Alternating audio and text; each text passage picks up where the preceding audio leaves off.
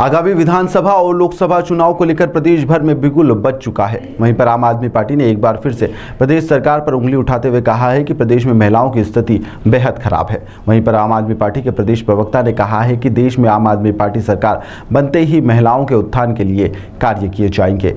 पंजाब लोकसभा उपचुनाव, उत्तर प्रदेश निकाय चुनाव और आम आदमी पार्टी की जीत में प्रदेश प्रवक्ता हेमंत जोशी ने कहा है कि पंजाब में किए जा रहे आप सरकार के जनहितेशी कार्यों को लेकर कर्नाटक में विपक्ष की जीत और भाजपा द्वारा किए जा रहे भ्रष्टाचार का यह पूरा परिणाम है। आम आदमी पार्टी ने आज प्रदेश में बढ़ रही महिला उत्पीड़न की घटनाओं पर रोष व्यक्त किया है। विदित हो कि हाल ही में इंदौर में एक घटना सामने आई थी जहाँ पर एक आदमी ने स्कूल जाने वाली किशोरी को परेशान किया था और जिसके चलते उसने आत्महत्या कर ली थी। जो उसके पालक ने थाने पर भी शिकायत करी थी लेकिन पुलिस ने इसमें कोई कार्रवाई नहीं करी थी।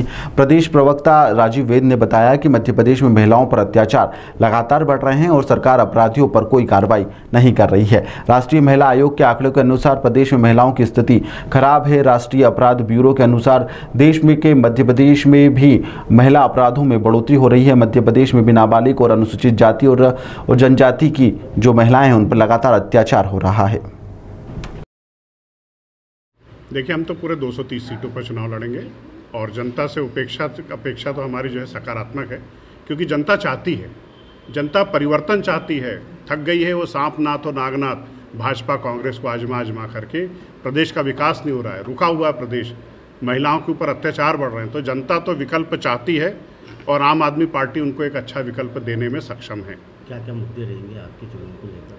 देखिए हमारा जो मुद्दे हैं वो शिक्षा स्वास्थ्य रोज़गार जो हमारा मूल मुद्दा है, वो तो रहेगा ही।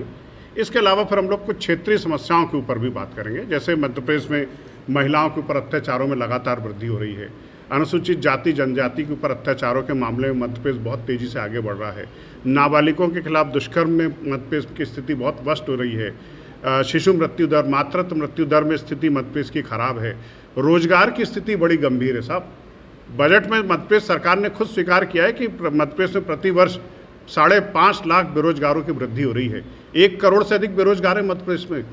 इससे बड़ी समस्या और क्या हो सकती है? तो रोज बेरोजगारों को रोज़गार देना हमारी प्राथमिकता है।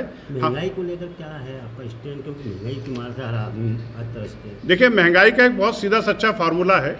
हम चीज़ें सस्ती कर देंगे। नागरिक उपभोक्ता की जो वस्तु है ना हम उनको सस्ता कर देंगे। जैसे दिल्ली में हमने बिजली को सस्ता किया ठीक ना? कई लोग बोलते हैं रेवड़ी बांटते ये रेवड़ी नहीं है सब ये जनता की सुविधाएँ हैं। जनता के टैक्स से सरकार बनती है। अगर उसी टैक्स से हम जनता को सुविधाएँ दे दें तो वस्तुएँ सस्ती कर दें तो और क्या चाहिए जनता को? तो महँगाई का हमारे पास सबसे बढ़िया तोड़ है हम बिजली सस्ती कर देंगे हम शिक्षा सस्ती कर देंगे लोगों को रोज़गार उपलब्ध करा देंगे। और क्या चाहिए जनता को? जब उसको ये सब चीज़ें कम कीमत पर निःशुल्क मिलने लगेगी तो महँगाई अपने आप मार खाएगी। मैं संजीव वैद्य प्रदेश प्रवक्ता आम आदमी पार्टी। ये प्रतिक्रिया आपको बहुत ही जल्दी देखने को मिलेगी, क्योंकि जैसे कहा जाता है ना, शतरंज की बाजी खेली जाती है। उसी तरह शिवराज सिंह जी अब शतरंज की बाजी में इन महिलाओं को आगे रख के उनकी मांग पूरी कर देंगे। उनको छः महीने से बरोबर ध्यान नहीं आई थी कि एक माँ अपने छोटे से बच्चे को लेकर वहाँ बैठी हुई है, धरना दे रही है, प्रदर्शन दे रही है, अपने हक के लिए लड़ रही है। ये हक अभी तक नदारत कर दिया गया था। परंतु अब चुनाव आते से ही आप चुनावी सियासत देखिएगा कि मुद्दे एकदम गर्म होते से ही उनको फ्री में, जैसे हमको बोला जाता है, रेवड़िया बांटी गई है। अब ये शायद फ्री में रेवड़िया ये बांटना चालू कर देंगे।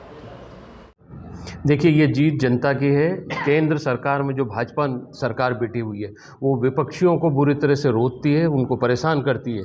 उनके साथ में जनता भी परेशान होती है तो ये जनता का गुस्सा है। जनता ने भाजपा को बुरी तरह से हराया है। थोड़े दिन पहले बीजेपी के एक मुख्यमंत्री के लड़के यहाँ पर आए हुए हैं, कांग्रेस पार्टी में। उन्होंने बोला कि मध्य प्रदेश में भ्रष्टाचार का रेशो 80 परसेंट है। कर्नाटक में तो 40 परसेंट था, पर मध्य प्रदेश में 80 परसेंट है। तो भ्रष्टाचार का एक ही काल है, केजरीवाल। बहुत जल्दी मध्य प्रदेश में केजरीवाल नित पार्टी की सरकार बनने जा रही है और हम पूरे 230 सीटों पर चुनाव लड़के बीजेपी क्या गठबंधन करेंगे कांग्रेस देखिए कोई गठबंधन नहीं करेंगे। 230 सीटों के लिए हमारे लिए उम्मीदवार हैं और उन्हीं उम्मीदवारों से हम जीत के सरकार बनाने जा रहे हैं। आपका नाम देखिए जो केंद्र की भाजपा सरकार है, वो लोगों को भी परेशान करती है, विपक्षी दलों को भी परेशान करती है। ये जो कर्नाटक में जीत हुई है, ये जनता की जीत है, जनता इनकी नीतियों से परेशान है, इसलिए जनता ने वहाँ पर बीजेपी को बुरी तरह से हराया। कर्नाटक में जो भ्रष्टाचार का रेशो था वो 40 परसेंट है। अभी कुछ दिन पहले बीजेपी के जो पूर्व मुख्यमंत्री उनके लड़के ने बताया कि मध्य प्रदेश में जो भ्रष्टाचार का रेशो वो 80 परसेंट है। तो मध्य प्रदेश भी भ्रष्टाचार का गढ़ बन चुका है। मध्य प्रदेश में भी कांग्रेस और बीजेपी की नीतियों से आम जनता परेशान है और आम जनता आम आदमी पार्टी के रूप में एक राजनीतिक विकल्प के रूप में देख रही है, आम आदमी पार्टी की सरकार बनाने जा रही है। आज के जो चुनाव परिणाम आए वो बड़े आम आदमी पार्टी के लिए बड़े उत्साहजनक है। जालंधर में सुशील कुमार रिंकू, जो आपके लोकसभा प्रत्याशी है, वो बड़े अच्छे बहुमत से जीते हैं। इसी प्रकार यूपी में भी हमारा खाता खुला है। यू कौसम्बी नगर पंचायत में हम विजय हुए हैं। तो यूपी में हमारा खाता खुल गया है, जालंधर में खुल गया है और कर्नाटक में बीजेपी की बुरी तरह से हार हुई है। ये हार सीधा रिज़ल्ट दे रही है कि बीजेपी से लोग परेशान हैं। मध्य प्रदेश में भी बीजेपी की सरकार को आम आदमी पार्टी हराने जा रही है।